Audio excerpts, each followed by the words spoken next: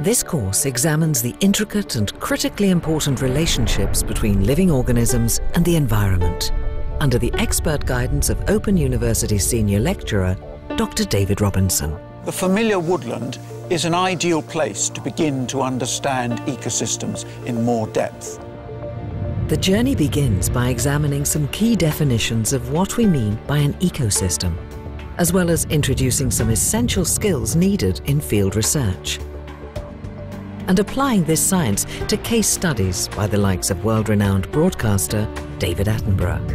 And in forests like this one, where food sources are often very widely dispersed, the ability to travel fast and far, but with very little effort, is a very valuable ability indeed. Rich in video, high-quality audio and text, Tailored to the needs of people new to the subject, this six-week course steers towards the fundamental issue of the impact of human beings on our natural world. The vital question we have to ask is, can this destructive process be reversed? Finishing the course will leave you with insights into the rich diversity of organisms across the world and a fresh perspective on the vital role that humans play in these fundamental networks of life. Understanding ecosystems transforms our view of the natural world.